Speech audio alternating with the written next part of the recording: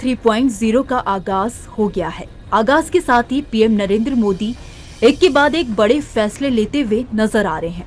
हाल ही में पीएम नरेंद्र मोदी ने किसानों को बड़ा तोहफा देते हुए पीएम किसान सम्मान निधि योजना की सत्रहवीं किस्त की फ़ाइल पर साइन किए। तो वहीं अब पीएम मोदी ने किसान महिलाओं के लिए कृषि के क्षेत्र में कृषि सखी योजना की शुरुआत कर दी है। खुद पीएम मोदी की नई सरकार में कृषि मंत्री शिवराज सिंह चौहान ने इसकी घोषणा की है। आइए जानते हैं कि आखिर क्या है कृषि सखी योजना। दरअसल नए कृषि मंत्री शिवराज सिंह चौहान और चार बार मध्य प्रदेश के मुख्यमंत्री के रूप में रहते हुए लखपति दीदी और लाडली बहना योजना शुरू की, जो आज पूरे देश में हिट योजना के नाम से जानी जाती है।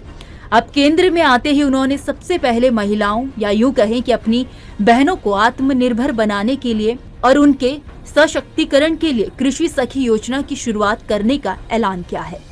आपको बता दें कि देश के 12 राज्यों में कृषि सखी कार्यक्रम की शुरुआत कर दी गई है। इनमें गुजरात, तमिलनाडु उत्तर प्रदेश मध्य प्रदेश उड़ीसा, छत्तीसगढ़, कर्नाटक आंध्र प्रदेश झारखंड, मेघालय, राजस्थान, महाराष्ट्र शामिल है। आगे अन्य राज्यों में भी इस कार्यक्रम की शुरुआत करी जाएगी। कृषि सखी कार्यक्रम योजना क्या है? इसे लेकर केंद्रीय कृषि एवं किसान कल्याण मंत्री शिवराज सिंह चौहान ने दिल्ली में अपने प्रेस कॉन्फ्रेंस में बताया कि प्रधानमंत्री का संकल्प है कि तीन करोड़ लखपति दीदी बनाने का, जिसमें से लगभग एक करोड़ लखपति दीदी बन चुकी है। दो करोड़ और बनानी है। उसी का एक बढ़ता रूप है कृषि सखी योजना।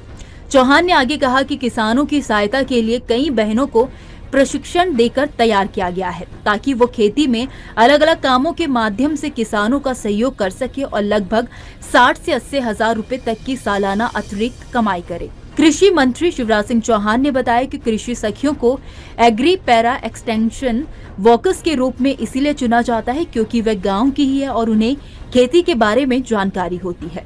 कृषि सखियों को विभिन्न कृषि पद्धतियों के बारे में व्यापक प्रशिक्षण दिया जाता है। जिससे वे साथी किसानों को प्रभावी ढंग से सहायता और मार्गदर्शन देने के लिए अच्छी तरह से सहायता कर सकती है। खैर, इस खबर में इतना ही। इस खबर को लेकर आपकी क्या राय है? आप हमें कमेंट सेक्शन में ज़रूर बताइए।